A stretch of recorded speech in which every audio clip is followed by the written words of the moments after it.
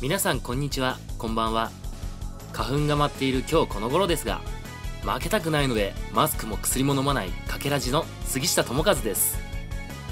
今回は「ワンピースに登場するバロックワークス一味の中で僕の好きなキャラクターたちの能力の紹介や名言面白いセリフをご紹介したいと思います。僕も一度でいいからバロックワークス入社してみたかったな。では早速いきましょう。まずはミスターワンダズボーネス。超人系悪魔の実スパスパの実の能力者で服や靴も刃物に変わるという強者です。能力者になってからはゾロに敗れるまで剣士には傷一つつけられたことがありませんでした。てめえら随分と仲がいいようだな。くだらねえなれ合いは身を滅ぼすだけだぜ。ダズはオカマちゃんとは馬が合わないようですね。次はミスター2ボンクレ。今回ご紹介するバロックワークス社の中でも最も好きなキャラクターの一人です。常にテンションが高く騒々しいオカマ。超人系悪魔の実マネマネの実の能力者ですね。他人に変身することが可能ですが変身している時はオカマ拳法が使えないのが弱点。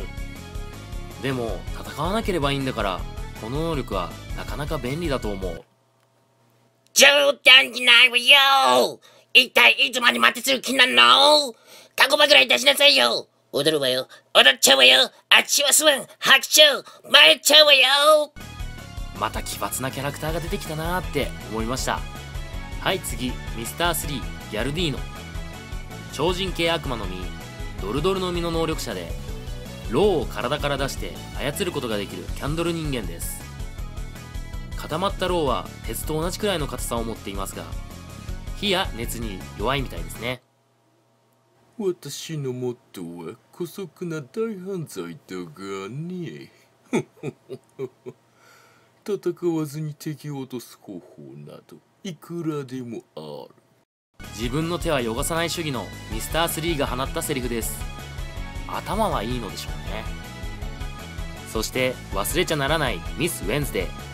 正体はアラバスタ王国王女ネフェルタリ・ビビですねバロックワークスの目的がアラバスタ王国乗っ取りと知りスパイとしてバロックワークスに入りました。バレちゃったけどね。ビビの名言といえばやはりこれでしょう。感動して泣いてしまった人も中にはいるのではないのでしょうか。ここはかけらじの仲間千条早苗さんにお任せします私一緒には行けません今まで本当にありがとう冒険はまだしたいけど私はやっぱりこの国を愛してるからだからいけません私は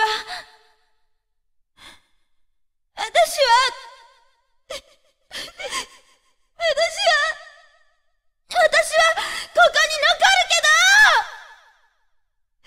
いつかまた会えたら、もう一度仲間と呼んでくれますか？千条早苗さんありがとうございました。はあ聞いてるだけでもあの感動シーンが蘇ってきますね。最後はやっぱりこの人。ミスターゼロ。サー・クロコダイル。バロックワークスの社長で当時は王下七武海の一人でしたね。自然系悪魔の実。スナスナの実の能力者で体を砂に変えられる砂人間です。ルフィとの戦いはかなり熱かったですね。本当に勝てるのかハラハラしてしまいました。最終的にはルフィ渾身のゴムゴムのストームにより岩盤を突き破り地上に打ち上げられクロコダイルは敗北しました。理想ってのは実力の伴う者だけが口にすることができる現実だ。お前にその資格はねえんだよ。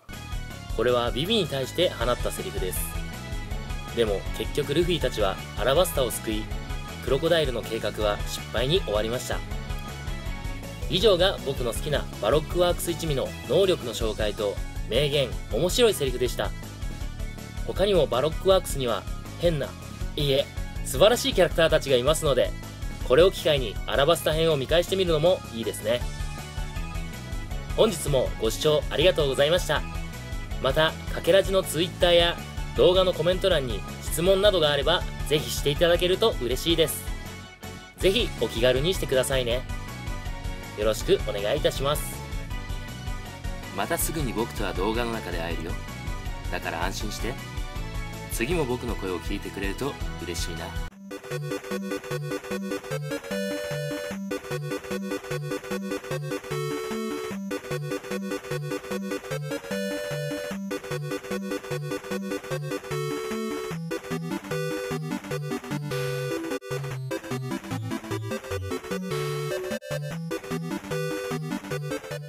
私たちの動画見てくれてありがとうね。気に入ったらチャンネル登録よろしくね。エリーのゲーム実況チャンネルもやっています。こちらもぜひ見てくださいね。